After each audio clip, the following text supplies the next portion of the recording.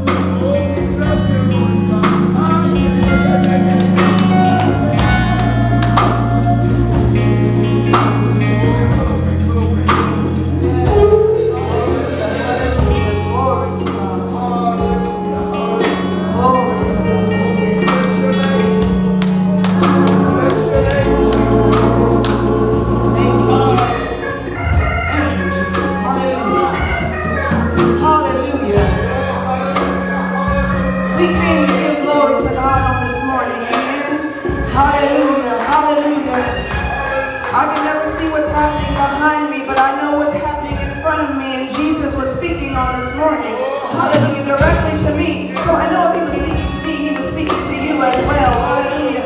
Was your ears open? Was your heart open this morning? Amen. Hallelujah. Did you receive?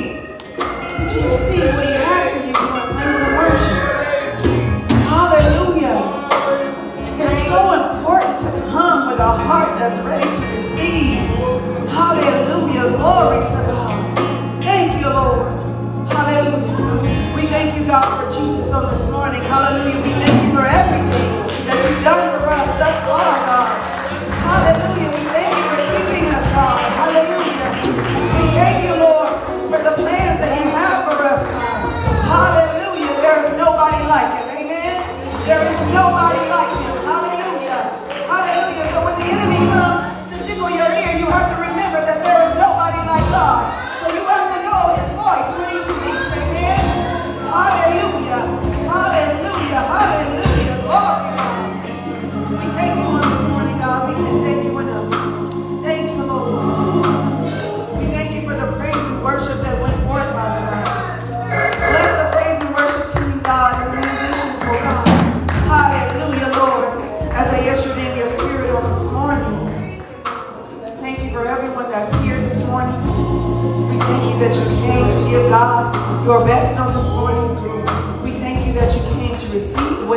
for you on this morning.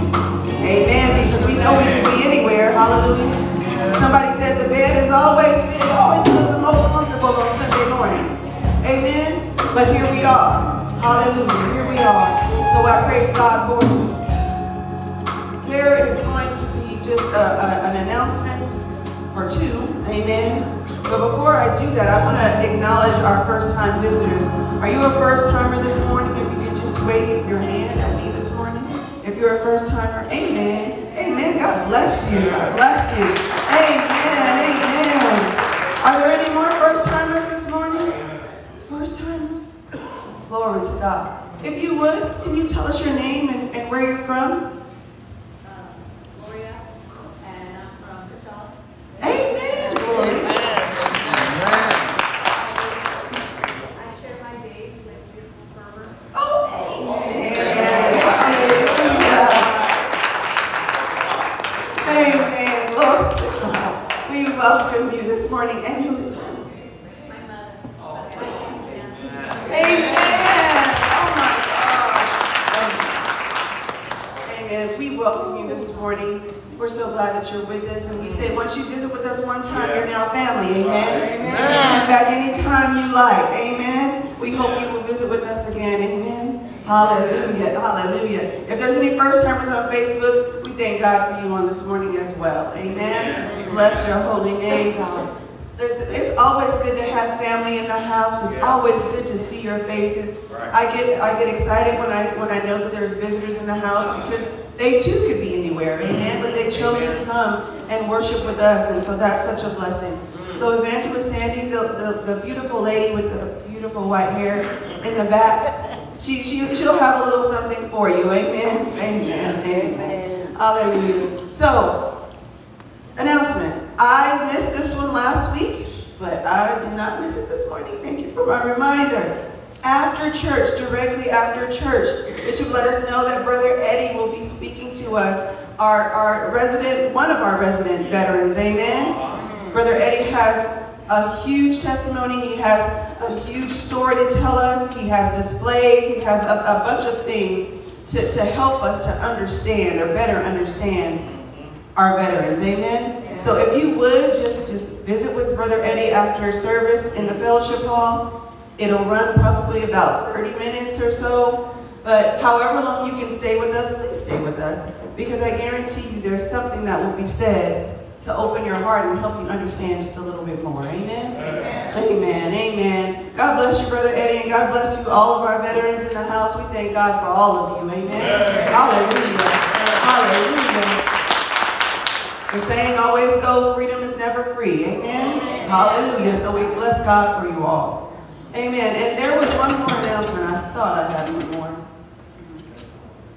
There is, people are pointing, but what does that mean? Who? What?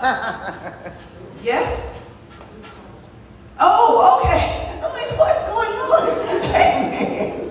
Amen. All right. God bless. There's a couple in the back. Amen. But if I know the face, I do not believe she is a visitor. Amen. Lower your, your mask just a little? Are you able to? Yes. Amen. Amen. Hallelujah. God bless you, Sister Tony. God bless you both. Amen. It's good to see you. It's good to see you. So with that being said, Bishop is behind me. I was wondering where he went, but he snuck up behind me. Amen. So he is ready. He must have a, a mighty word for us. Amen. Amen. Let's, let's put our hands for Bishop and ask God to bless him on this morning. Hallelujah. Glory to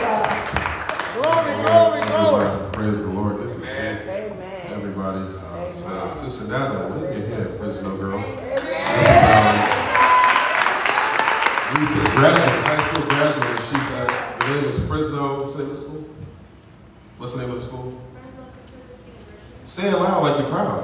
Amen. Fresno Pacific University. Amen. She, she was there, and her grandmother told us that at one point, she said, I want to come back. And I said, she can come back if she wants to. We're going to gas up the car and take her right back to Fresno. you miss home that much, you better get an iPhone and FaceTime everybody. You know, school. Our children can be released into children's church wherever they, um, wherever they are.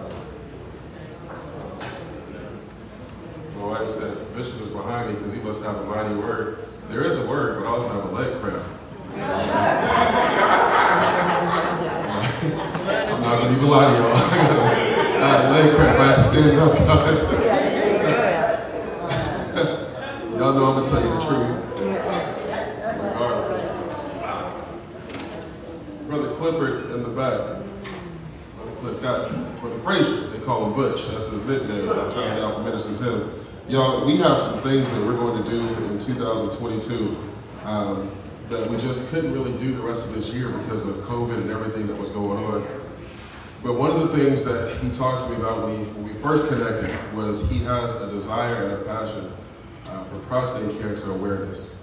And, um, and that's just something that's, that's near and dear to my heart for several reasons. But uh, early, early first quarter of 22, we want to have the, uh, the screening done here. There's a mobile screening unit that comes to the church. And men, men, men, please don't think that you're too young and it can't happen to you. Um, early detection is key when it comes to prostate cancer, right? So um, if you're over the age of, like, say, 35, it's time to start thinking about uh, getting a prostate exam. And it will be done here. I'm just believing by faith we're going to make that happen. And there's another component that he's working on with mental health issues. Um, believe it or not, even in the church, mental health is a problem. It's an issue in the church. Come on. And we can we can tell everybody just call on Jesus and walk away if you want to. Nah. Um, however, faith without works is dead. There are some times where Jesus can heal you instantly. There's other times where he'll say, now I'm going to send you to a doctor. Now, now, it's amazing how we believe in cancer doctors, we believe in heart doctors, we believe in every other doctor. But when it comes to a mental health doctor, we think that's a joke. Let me tell you something. Please do not misunderstand that there are plenty of people sitting in church. You may be sitting next to one, or you may be one yourself that deals with depression and thoughts of suicide and everything else, all right? And so we're going to get some help and relief right here to the church. So we'll be Amen. talking this week, early 22, we're going to be doing that.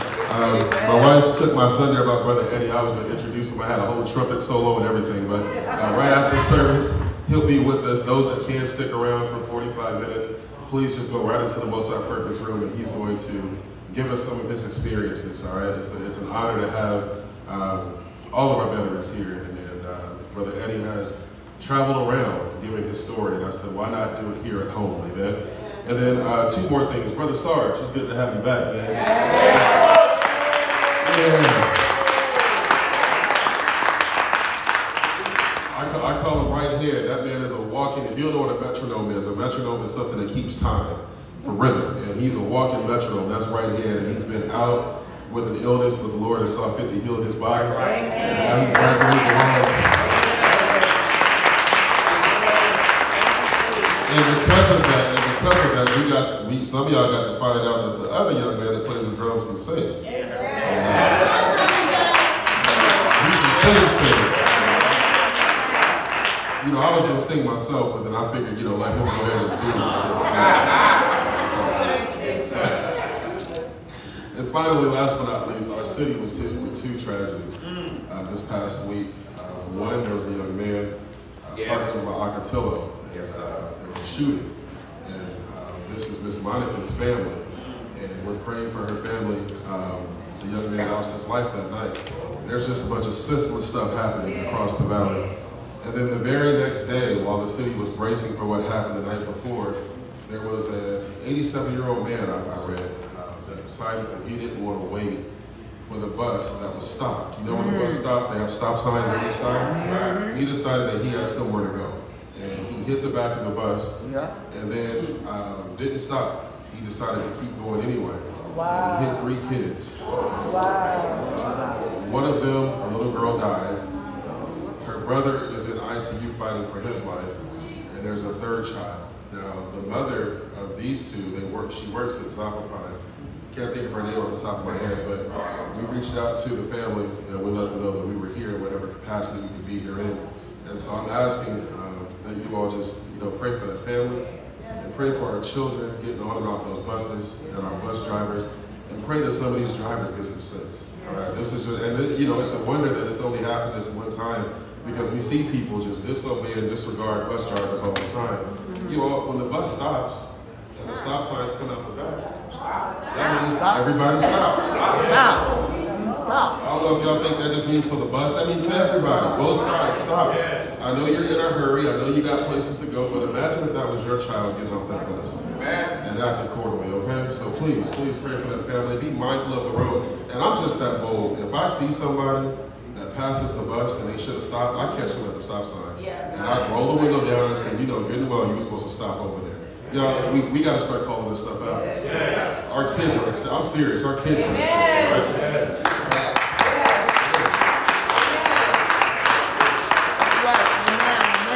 What's the point of doing all that praising, dancing, and worshiping if you're not going to leave here and do nothing about it? Right? We need, I'm of timid Christians that's just bold in church but passive out there. Y'all got to stop that. Y'all bold. Y'all bold with each other. You'll tell another saint off in a minute, but get out in the world, you'll be quiet as a church mouse. Y'all got to stop that mess. If you see it, say something, please. I don't want to lose another child. Let's let's let's go uh, to 2 Corinthians 11 and 1. We're just to park there and you can close your Bibles. Um, we're going to deal with a saying that became popular about four or five years ago, and everybody wore it on their wrist. And um, it really proved how hypocritical some of us can be.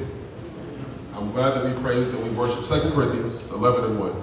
I'm glad we praised and we worshiped. Our worship team was amazing this morning. Amen. so I'm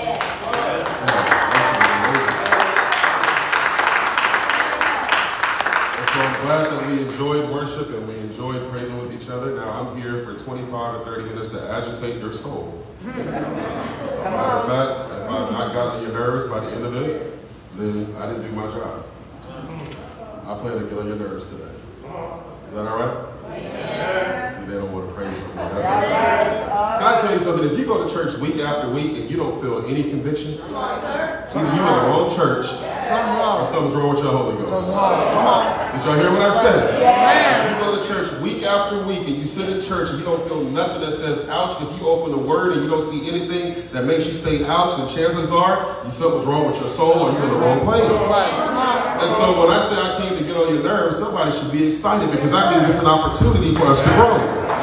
Listen, I was studying for this and I got on my own nerves. So if I'm gonna get it, y'all gonna get it too, all right? Paul said, follow me, imitate me, just as I imitate Christ. I just want to leave it right there with the topic of what would Jesus do? Right, what would Jesus do? Paul said, imitate me, follow me as I follow Christ. Let me just take a quick segue and say Paul was the apostle. He wrote two thirds of the New Testament. Paul uh, did things and wrote things that we guide our churches off of today. However, Paul made one thing clear follow me as I follow Christ. If you take the inverse of that sentence, you can realize he's saying, when I said, well, if it looks like I'm not following Christ anymore, stop following me. And as a leader, as a leader, I'm here to tell you the same thing. Follow me as I follow Christ. Imitate me as I imitate Christ. When you start to see things, if you start to see things, and you start to see that your leaders are not following the direction that God has called them to follow them, don't you be a fool. Jump that ship real quick. Are y'all with me? But, but, but, but the key thing here is Paul was saying, I need you to follow me as I imitate what Christ did. And I told you a few years ago there was a bracelet that everybody wore and said, What would Jesus do? And they're rocking this bracelet, and I've seen some of the most hellacious, hell raising, nasty people wearing a bracelet that said, What would Jesus do? And I would sit there and scratch my head and say, Surely he wouldn't be nasty. But yet still we're wearing this thing as it's a novelty. Now here's the deal as believers, as Christians, as disciples of Christ, we are to imitate Christ in all that we do. This is why people don't know it. And I saw, I saw a meme the other day. It says, I don't, it's not like I don't love God and I don't love the church. It's just I can't stand the people because they look nothing like their father. We have gotten to the point where people refuse to come to church because they come here for an experience and they leave here with a grudge. Come on. Yeah. We shout and we dance, but we can't speak to each other after service. Now. We wait until somebody is missing for six weeks before somebody calls and say, "How you been on my heart? How have you been doing?" And I, if I'm one of those people, I'll pick up the phone and say, "Well, I'm delivered now. Thank you for not praying for me when I needed it." And so here's the deal: imitate me as I imitate Christ, not just in church, Because we have seven, seven days a week, 24 hours a day. That's 196 hours a week. We're only in church for 90 minutes. 90 minutes for most of us. Unless you come to Bible study or Sunday school. Let's just say that you come to everything. You're in church for three hours out of 196. He's saying, imitate me as I imitate Christ. Not just in church, but the other 193 hours a week. Isn't it funny how we can be like Christ while we're here? But we get home and we like somebody else. To the point where we get in church and start shouting, our kids are looking like, where, where'd that come, where'd that come from? You ain't like that, bro. One, one of the most one of the most damning things to a believer is for one of their neighbors to know that they're a believer and say, I didn't even know you was a Christian. Oh, wow. Wow. Y'all mad at me yet? No. Give me 10 minutes. Okay. All right. First, First John 2. First John 2. Let's start at verse 3. And we can be sure that we know him if we obey his commandments. If someone claims I know God, but doesn't obey God's commandments, that person is a liar and is not living in truth. But those who obey God's word only truly show how completely they love him. That is how we know that we are living in him. Those who say they live in God should live their lives just as Jesus did. Y'all there? Jesus was humble. Jesus was loving. He was forgiving. He was compassionate. Jesus was a student. He was a teacher at the same time. He wasn't too big to sit down and learn from somebody. Jesus walked with no reputation. He didn't want you, he didn't care about what his title was. He said, Who do you say that I am? He- what he asked was, Do you really know who I truly am? Jesus had authority in his hand, power and authority in his hand, but he walked in submission to the Father. If we are believers, what's the point of coming to church if we're not going to leave here living the way that Jesus lived? 1 John chapter 2, verse 9. If anyone claims I am living in light, but hates a fellow believer, ah, that's tough right there. Wow. Hates a fellow believer. That person is still living in darkness. The scripture lets us know that there's people in church that are walking around in the dark. Simply because they have the light of the world inside of them, they can't stand another believer. That's what the word says. See, it's quiet right now. And a hush just fell over Jerusalem. Right there. Right? First John 4, another love chapter, verse 20. If someone says, I love God but hates a fellow believer, that person is a liar. For if we don't love people we see, how can we love a God that we cannot see? I'm going to help us out really quick. In my family, my family is interesting. We grew up as a big family, now we're a smaller family because of, of death and things and separated some things. And, and we have family members that we really don't speak to that often. Right. I'll be honest with you, we have family members that we can't stand. Amen. Yep. Amen. Okay? All right, all right, all right. Right, right. So the family members will come together, and when another family member's name comes up, you know, I'm cool with her, no, I'm cool with her. And we'll talk amongst each other as a family. But let you say something about it. Yes. Yes. Let you say something about my family Yes. member. Yes. All of a sudden, issues are over, we might have to square up. Here's what I'm trying to tell you. In a body of believers, we may not always agree with one another. But we can't allow disagreement to get to the point where we start to hate one another. Why? Because we are many parts, one body, we are one family. As a matter of fact, to go back to the family analogy, if my brother right here does something to me in church and we may not talk for a week, I bet like I won't let anybody else put their mouth on him. Because this is my family. What? Amen. Amen. Amen. I said family, y'all are, yeah, it is. Okay, let me go somewhere. That's my family right there. Right? And so if we're going Jesus did, and this is what I really want to know, because I'm starting to find out there are people who just like to have church, but they don't really want to know Jesus. Come on. Come on, Bishop. And I'll be honest with you, I'm not trying to pastor anybody who doesn't want to know Jesus. Come on, Bishop. If you just want to come to church and dance, come on to church and dance. But, but, but, but, but when it comes to the time where you need a pastor, I'm going to give you a word and say, well, start there and then come see me. Why? Because I'm not going to wear out my suits or my patience with people who really don't want to walk like Jesus walked. Come on, Jesus. Wow. Come on, Jesus. You're supposed to be the man of God. So are you. Yes. When he saved me, he saved you just like he saved me. Amen. When he called you out of darkness, he called you out of the same darkness. Amen. When he told me to go to fulfill the Great Commission, he also told you to go and fulfill the Great Commission. Amen. We're going to stop assuming that only the pastor or the bishop has an assignment. We all have an assignment. 1 Peter 2, 1 Peter 2, 21. For God calls you to do good even if it means suffering, just as Christ suffered for you, He is your example. You must follow in his footsteps. What Peter tells us here is if you want to be as Christ was, if you want to walk as Christ walked, even when you're suffering, we have to do good. Amen. Amen. Oh my God. Amen. Yeah, that's that. that I, I got like six amens and 27 faces and 53 angry folks, and that's okay. If I'm watching Facebook, I'll probably see the angry emoji. But here's the thing: God is saying, even in suffering, you are to do good because that's what Christ did. Yes. Who are you to tell the Lord that you're not going to do good because you're going through a season of bad? Who are, who are we to tell God that we don't feel like doing good because things aren't acting up in our life? If I can hear Jesus saying, Jesus, I'm sorry. When was the last time you got on the cross? When was the last time you took punishment for sins that you didn't commit? When was the last time you shed blood for anybody? How dare you tell me that you don't want to do good because things are bad? But I want to be like Jesus. Yes. Yes. How much? How much? Y'all still love me? Yes. Give me seven minutes. Uh, Mr. T, can you throw my towel? I think it's over there. I think I looked over there. Jesus, Jesus.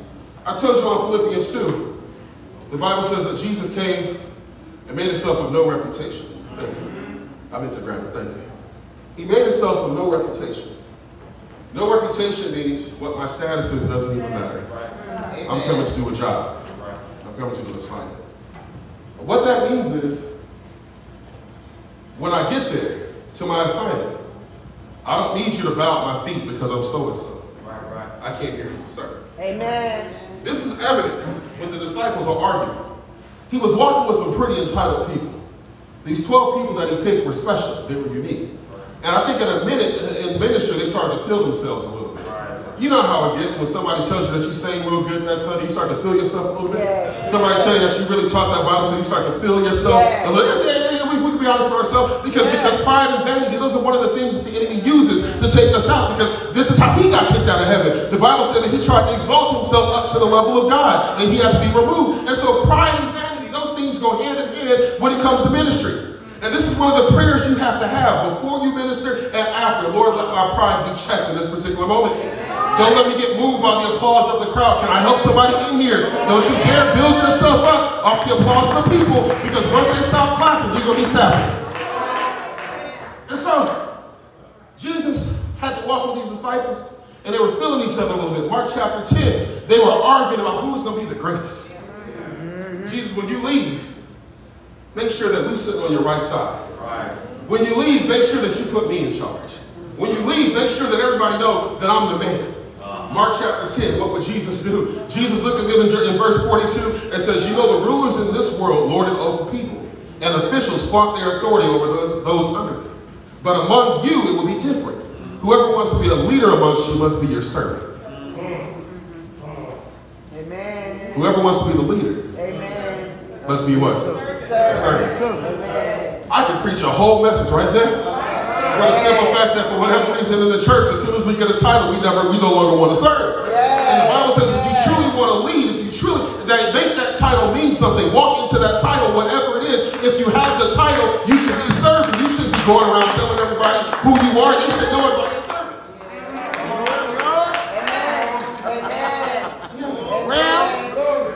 And I, love the brothers here. I love the brothers here. The brothers here, they, they got my back. They make sure that something's going on, uh, you know, Bishop, we got it, da, da, da, da. But one time, one time I was stuck at the tire shop and I had, I had, I had a ball tire and a flat tire. Now, if you know me, I just take off and run.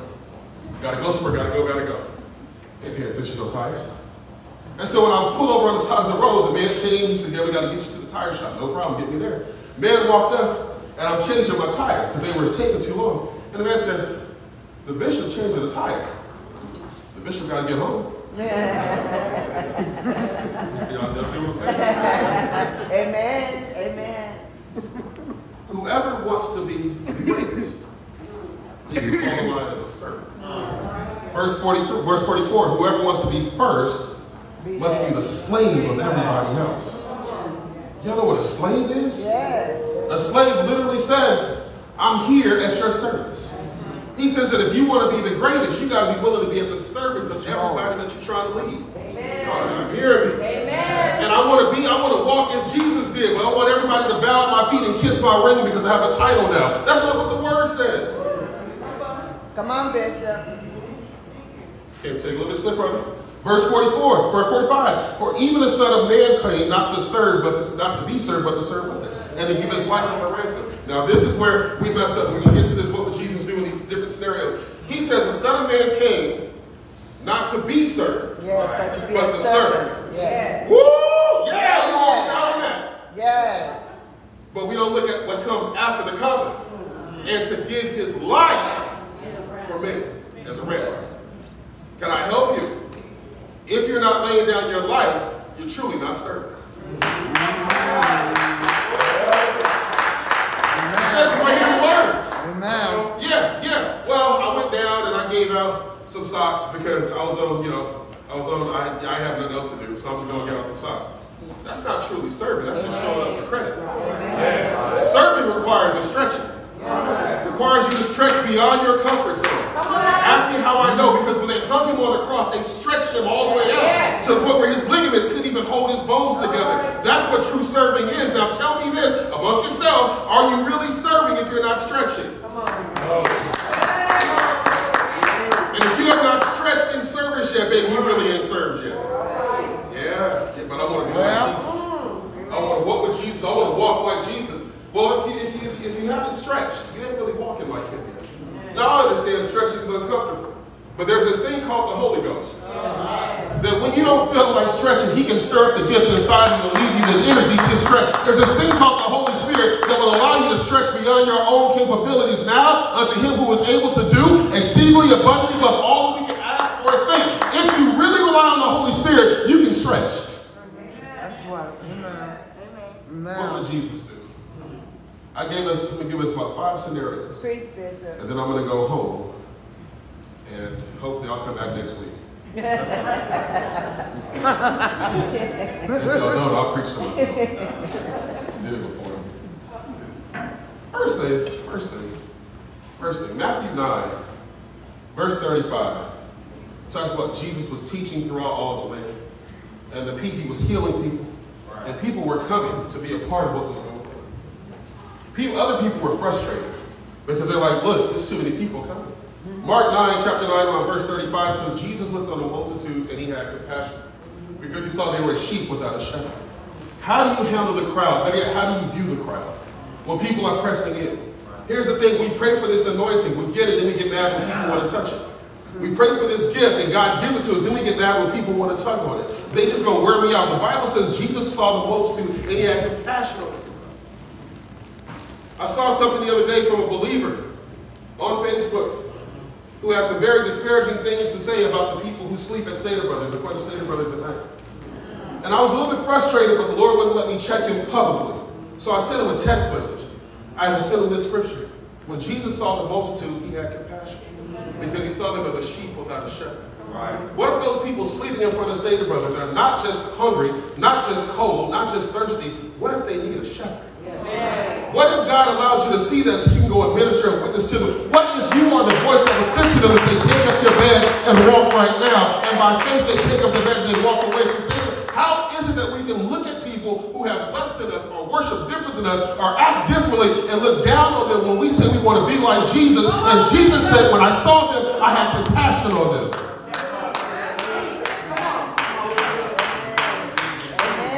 The church can be the most uncompassionate place in the world. Yes. You know somebody's going through, Yes. but instead of lending out a helping hand, you put a word of judgment on them. You know someone is struggling, but instead of embracing them, you put out a word of judgment on them. Now let me pause real quick, because everybody who seems struggling ain't really struggling. Some folks just want attention, but there are other people, there are other folks who are legitimately hurt, and we just stare at. Yes. Yes. Preach, Bishop. What would Jesus do? Somebody say compassion. Compassion. Compassion. Number two, what would Jesus do when he's faced with gossip? I'm only picking on church problems today. Yes. Yes. Because church is a place of not compassionate folks, and church is a place that loves gossip. I don't understand. And when people say, I'm sick of this church or that church because there's gossip in the church, I'm going to go to another church where there's no gossip. Go on over there. Gossip will meet you when you're there. Hey. Gossip goes back to the New Testament. Yes, it does. Paul was writing to Corinth about gossiping. Yes. Paul was writing to Ephesus about gossiping. If you want gossip out the church, how about this? Instead of running, put a stop to it. Amen. There's a saying that says gossip stops when it hits the ears of a wise person. That's, that's the saying. That's the saying. In, in, in, in John chapter 8, these, these men, these messy, gossiping men, brought to Jesus this woman who was caught, who they called an adulterer. And they came and said, Jesus, hey, we got her. We caught her. An adulterer. Gossips will always have a scripture to back up why they're telling you the business. Doesn't it say in the word that if she's caught adultery, she got to. Don't you know how gossips always have a scripture? Don't they always have one? Yeah. Yes, yes. And. Jesus looked at him. And the Bible says he got in the dirt. Mm-hmm. One preacher told me that's why it's good to let Jesus get in your dirt. Got the dirt, he wrote something. Nobody knows what he said, what he wrote. But he jumped up and said, like he without sin. The. Bible says he looked around and when he got up, he said, Where'd those accusers go? Mm-hmm. Where'd those people who were scandalizing your name, where'd they go? Where'd those gossipers go? Now, this was interesting to understand, and some of you have heard me say this before, and I will say it again. If you haven't heard it, be surprised. If you have heard it, be quiet. Here we go. Gossip hits the ears of a wise person and stops. Right. This is what I've learned about gossips. You gotta ask this question, these few questions. One, what makes you so comfortable with me Right. to make you feel that I'm approachable with somebody else's mess. Two, were you there when the act was committed? Because if you were, you're just as bad as. Okay. Has anybody ever paused to ask a question? Mm-hmm. How did a bunch of men catch a woman in adultery? Unless they were involved Yes. or they were watching. In my Holy Ghost mind, I said, well, which one of those, which one of you men was the one that was with her? Yes. And so this is why Jesus said, now notice Jesus didn't condone her actions, but he didn't let them walk away in their sin as well. And so when, when, when what would Jesus do with gossip? He put it into. Amen. What do we do as believers? Hmm. We hear something about Brother Sarge, we don't put it into it, and so it festers in our spirit all week. Hmm. Then when we see him next week, we sit a little bit further from him. Yes. He says hi. We give him to him. And then what do we do? We go get two or three other people to spread the gospel Amen. Yes. Yes. This is a year of recovery. All right. Amen. Amen.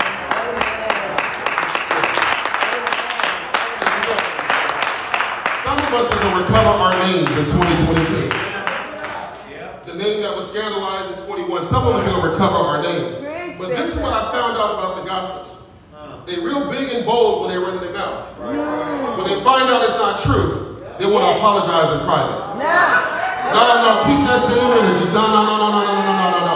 If you disrespected it open, come on and apologize in open. Tag me in your apology as well. Go ahead and go ahead and do what you gotta do. Don't you dare. See, this, this, this is what we gotta understand. When, when it comes to gossips, we gotta be bold enough to stand there and tell them, A, it's not gonna go any further. B, when it comes that you lied, you have to go back and address that person. Come on, Bishop. So tell somebody, keep mess out of the church. Keep mess out the church. My word. Anybody mad Yes. Oh, no. She said yes. No. Okay. One person said, yeah, Number three, what would Jesus do? We're dealing with sinners. Understand. We have this thing in religious circles right. where as leaders you can't become common. Mm -hmm. That's a lie from the pit of hell. Yes. Because Jesus was just as y'all not hear me. Yes. We have this thing when I get a title and I get a gold chain, and I get a gold ring, I need to separate myself from the common folks. But my scripture says that I have a high priest that I can touch. So if I can touch my high priest, why can't I touch you? What makes you more untouchable than a high priest that I can touch every day? How dare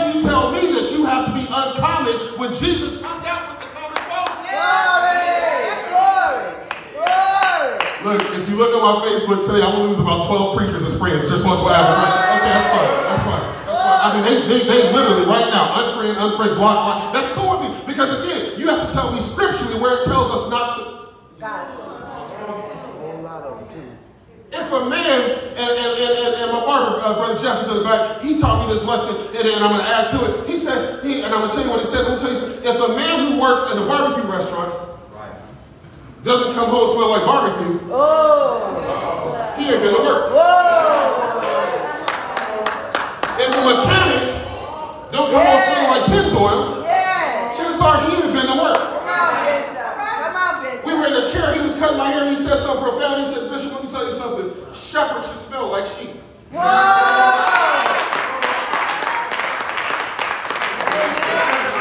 Watch this, watch this, watch this. You should have a fragrance of whatever it is you work around. It should be on you. You should come home, and people should be able to tell you've been around some sheep. Well, I have because I'm a shepherd. There is no way I can smell like sheep if I refuse to. Check this out, check this out, check. Mark 2, Mark 2, chapter verse 15. While Jesus was having dinner at Levi's house, many tax collectors, tax collector, that was a very dirty job. Nobody Yes, respected. That was like a bill collector back then. And y'all know the bill collectors when they call you. Right? There was tax collectors and sinners that were eating with him and his disciples, and there were many who followed him. Wait a minute.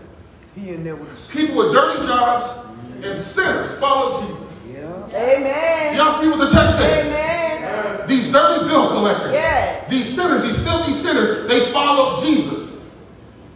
That's It right. never says Jesus shoot them away. No, never. As a matter of fact, when the religious folks, the teachers of the law, who were Pharisees, saw him eating with the sinners, and ta- he was sitting down eating, breaking bread with Come the on, sinners and the, come on. and, the, and the dirty bill collectors. Yes. Jesus. Yes. That's And right. you want to tell me don't get common because you have a chain now. Come don't get on. common because you have a cross now. Come When my Savior sat with the common folks. Come on, Come on, And this is why your church won't grow. Because Yes. you're looking for the cleaned up, the ones that smell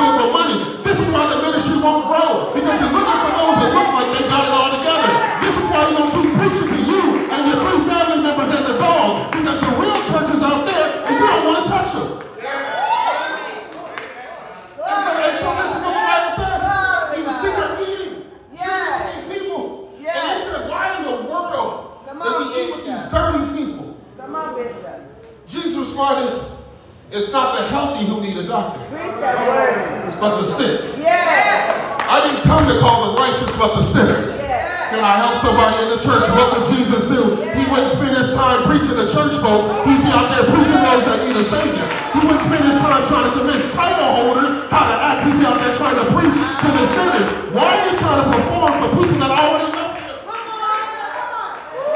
Glory. Thank you, Jesus. Man, Thank man, you, and Jesus. man. Thank you, Jesus. Woo. What Yes. would Jesus do? Yes. He wouldn't impressed by religious folks. As a matter of fact, if you notice, Jesus was real peaceful until he comes back in Revelation. But the only time he turned up was against religious folks. And you read the scripture. He didn't turn tables against sinners. He didn't turn tables against church. He turned tables against the church folk because he realized this is my house and you won't even let me in. We just about done. Come on. Preach, Bishop. Come on, teach. Just wanna- Teach. Let's get on. Yes. Matthew 5, what would Jesus do? Yes. Somebody say he wouldn't hold a grudge. You wouldn't hold a grudge. He said when somebody hits you on one cheek, Turn the other. turn around and offer the other cheek. Yes.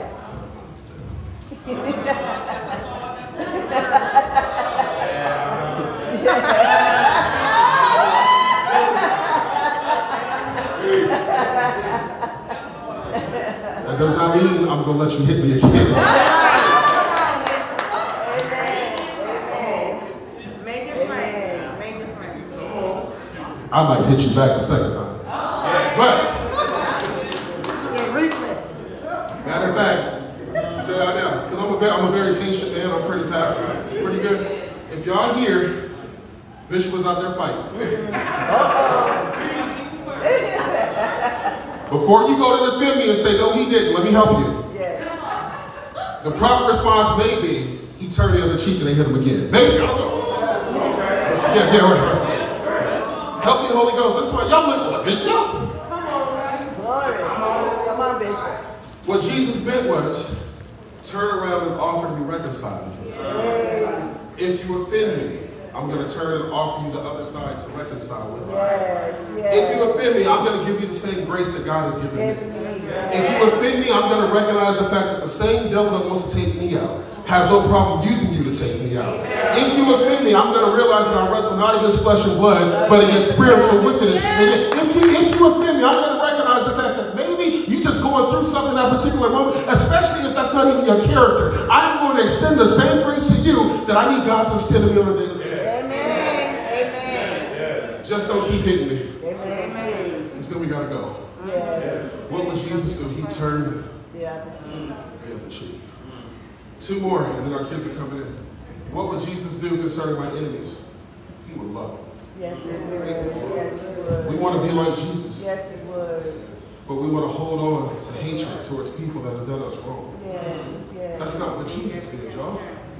Now, I'm not saying that you got to bring them back into your life. Matter of fact, somebody told me, I saw something the other day that said, you think me, um, you think I'm holding a grudge. No, I just put up a boundary. Yeah, yeah, yeah. I love you. Set boundaries. I pray for you, Yeah. but I don't trust you. Yeah, yes. And since I don't trust you, the Holy Ghost in me says not to let you that close in this particular season. But that does not mean that I don't love you. I just have a boundary to protect me and mine. Because if you hurt me again, there's no telling where I might go. So let me just, y'all not, let me just protect what's me and mine. But Jesus said in Matthew 5, he says to love your enemies. Yes, yes, Love your enemy. yes, Pray for those who persecute you. yes, yes. And that way you'll be acting like a true child of God. Amen, amen. When was the last time that you went in a prayer for your enemy? Mm. But not, Lord, give them. Yes. They messing with me. No, But Lord, would you bless them? please, Jesus. Matter of fact, if you pray that God blesses them, chances are they'll be so blessed they'll forget all about you. Lord, Lord, can you bless them? Can you please, can you please sanctify their minds, oh God? When was the last time you went to your prayer closet to pray for those who persecuted you? I want to be like Jesus. And here's the final thing. How many of us have been betrayed? Oh my God. Everybody. I mean, really betrayed, betrayed, betrayed, betrayed. The greatest thing, the funniest thing about betrayal I read is it always comes from a friend. The enemy can't betray you because they're never that close. So how many of us have been betrayed? I mean, I, I mean, I mean, I never thought that she or he would do me like that. I mean, I thought that we would cradle to the grave. I thought we would ride or die. I never would have thought that they would have betrayed me at that capacity to the point where not only did they see people forming weapons against me, but they actually pulled the trigger. Yeah, yeah, yeah, yeah. How many people have been betrayed, betrayed at that point? What would Jesus do? Ooh, that's tough. We often would say quickly, Jesus would forgive, and he let the grudge go. Take it a step further. Jesus served the very one who betrayed. That's right. Listen. Yes. Yes. Yes. John 13 tells a story as I get ready to close. He tells a story about Jesus washing feet. Washing feet was a sign of humility and undying love for one another. Mm. You really have to love somebody to wash their feet. Yes. You have to be humble to wash their feet. Amen. And it's one thing to wash feet and show undying love to somebody who loves me back. Mm. But can I serve in that capacity for somebody who betrayed me? The Bible says that when Jesus chose the 12, he knew that one would betray him. Yes. If you fast forward to John 13, you find out that he knew that his betrayal was upon him. Because he is God and he was here in the beginning, he'll be here in the end. He's an all-knowing, everlasting, all-seeing God. He knew Judas would be the one to betray him. But the Bible says that Jesus yet still got on his feet and washed the feet of the very person John My 13 that would betray my him. Lord, my Lord. What would Jesus do to those that betray him? He would serve them. Yes. What do you mean he would serve them? Yes. As sure as my last name is Shepherd, that if people have a way of betraying you and coming back to you like nothing ever happened. Yes, sir. Sir. Preach. And not everybody's coming back with an apology. Now, now, now, now, now we're talking, now we're talking. Because, because some people will betray you, and they'll come back and ask for forgiveness. All it's love, come on, let's go. But not everybody will be wise enough or even bold enough to come back and apologize. They'll just walk back in like nothing ever happened. Testing your Holy Ghost. Now here's the thing, what would Jesus do? Jesus will find an opportunity to serve that very oh, person. Oh, thank you, Lord. Thank you, Lord. Thank you, Lord. Do we really want to be the church of Thank Jesus Christ? Yes. Do we really want to represent Jesus in all that we do? Well, then it's bigger than shouting and dancing. Because I've searched the scripture, you're not going to find one place where Jesus shouted and danced. Amen. If you find it, let me know. Amen. But what you, can, what you can do is find how he served those who betrayed him. You can find how he forgave those that did him wrong. You can find how he was compassionate to the multitudes. You can find how he was giving. You can find you can find how he hung out with the people that the church folk didn't want him to hang out with. All this other stuff is what we put on. Amen. We put on the suits. Yes. We brought the organ. We brought the drums. And it's good. It's here. All that's good. But at the core of everything, Oh, what's the point of going to church every Sunday mm. and you don't want to be like Jesus at all? My Lord. My Lord. Listen, if you're here today and you're struggling with your walk, you want to be like Jesus. But it's just hard. I understand because it's not always easy for none of us. Sometimes, sometimes, sometimes. Can I, can I tell you some truth? Some tra- Yes. Not transparency, but translucency. Can I tell you a little bit? If you're married, sometimes it's hard to walk like Jesus. Because spouses, spouses don't always see eye to eye. If you're a family person, it's hard to walk like Jesus because your children and parents don't always see eye to eye. But I believe that for some of us, God gives us families and children to, to let us work out our kinks real quick and figure this thing out, right? Yeah. But here's the cool part. You don't have to be married or with children to experience this. If you are part of a family, like this is right here, Yes. we're going to have to learn how to walk like Jesus. All right. Yes. If you have a struggle in your walk, we just want to pray with you. Don't want to embarrass you. Mm. Because I can be honest, if everybody raised their hand in here, you'd see all of us have struggles with our walk. Every last one of us. Matter of fact, how about this? If you don't have any struggle in your walk, raise your hand real quick. I need you to pray for all of us. Amen. Amen. Amen. But before you pray, I need you to yell across. And we're go out and come down and pray for you. All right, so, so, so, don't feel bad. Paul went right into the church of Rome in chapter 7. He says, look, the things I don't want to do, I find myself doing anyway. He said, I know it's not me, it's the sinful nature, it's the old man in me. He said, thank God for that I'm free from sin, but there's still something that tugs at me every day, every morning when I wake up. And maybe that's you. Every morning you get up, you wake up wanting to serve the Lord with all your heart, all your mind, and all your soul. But a habit, a relationship, something pulls at you. If that's you, let us pray with you. Just put your hand in the air. Don't be ashamed if that's you. That's you. Said, okay, that's you. That's you. That's you. That's you. That's you. Amen. Amen. This is what we're going to do. We're going to as they play, oh, thank you. I'm glad you're here. Thank you. As they play something softly, I'm going to anoint my hand with oil. I'm going to anoint your right hand. The right hand is the hand of power. It's the hand of authority. You have the ability to lay hands on yourself and break every chain over your life. The reason I'm going to anoint your hand and not anoint you myself is because only Jesus could only do miracles with those who believed. And so I could bring everybody up here and anoint your hands with oil, but if you leave, you come here with unbelief, you're going to leave here with unbelief.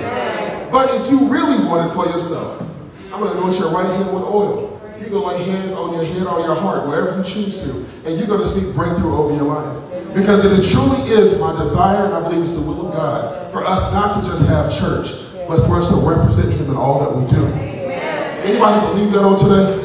Anybody? Can I have, can I have some help? Elders, would you come help me, please? Elders, would you come help me?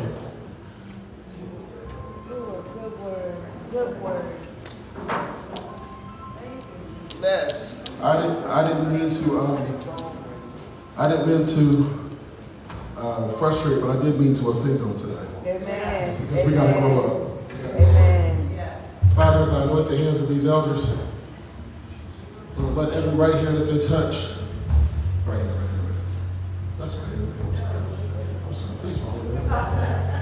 Y'all still hold me. Let every right hand I touch be sanctified and consecrated for service on today. And let every right hand that they touch experience breakthrough and deliverance beyond, beyond expectation. In Jesus' name we pray. Amen. Whoever raise your hand, raise your hand, please. Raise your hand. Don't be afraid. Don't be afraid now. Don't be afraid now.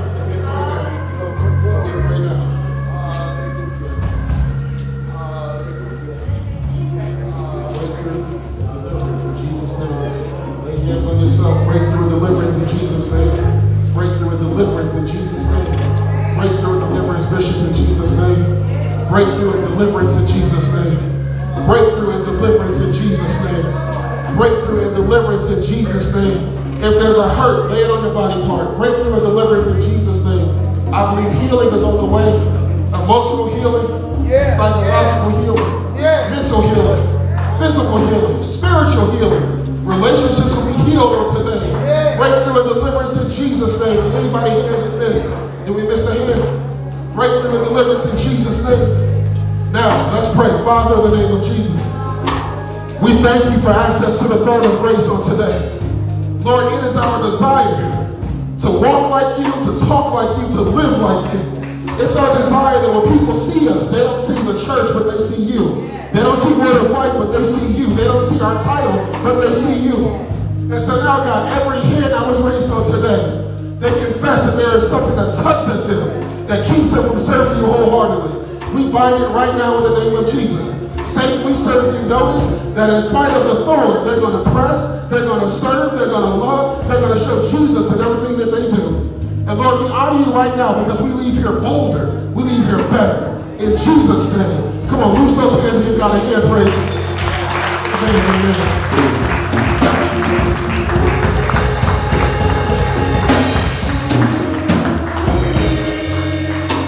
Pastor comes, is there one that's not saved on today? This is how real salvation is. Soon and very soon, there's going to be a trumpet that sounds. And when that trumpet sounds, Jesus is coming to get his church. That movie Left Behind doesn't really do it justice. But what it shows is, will some people be sitting in church, they'll blink their eyes, and then half the church is gone. If that were to happen within the next two minutes, do you know where you'd be? If you do not know, now is the time for you to get saved. Being saved does not mean that you're perfect, does not mean that you're going to get it right every day, but it does seal your soul for eternity. It protects you and preserves you from a fiery second death, which we know is hell. Is anyone here not saved on today? We just want to lead you in a quick prayer to bring you into the kingdom of God. Anybody not saved on today? Anybody not saved? Everybody is saved. Lord, we thank you. In Jesus' name, amen.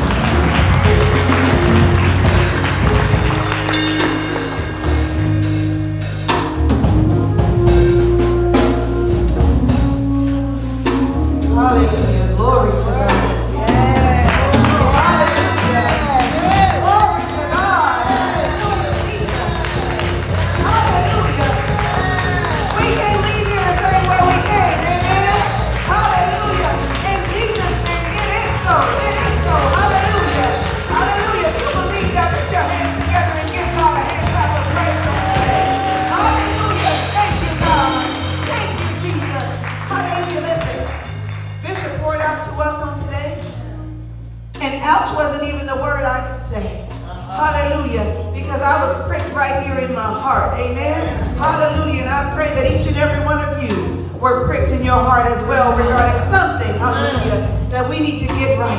Amen. And it's okay. Because we're all in the same boat. Hallelujah.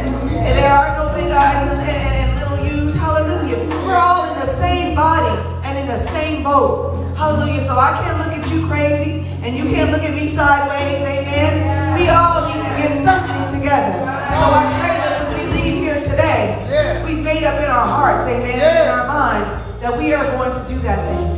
In Jesus' name. Hallelujah. So I just want to remind you that those of you who can and will, we're meeting Brother Eddie in the back, amen, directly after service. I see him standing at the door. He's excited and he's ready. Glory to God. Amen. And I just don't want to forget those who are on Facebook. I know we went around and we anointed the right hand of those who were here in the house. It's really important to be in the house if you can get here. Amen. But if you need somebody to touch and agree with you, all you have to do is just message the church. Amen. Put your name in there and message the church and someone will get back to you to make sure that you receive the same. Amen. Hallelujah. Glory to God. So we are standing to be dismissed. Amen. I just want to let you know as we stand, Minister Tierra is in the back. She's going to dismiss us row by row, starting from the back. And as you leave, the offering baskets are right there with her. The round basket is for your tithe and your offering. The rectangular basket is if you choose to bless Bishop and his family. Amen. Both of those, those baskets are in the back on your way out. Hallelujah.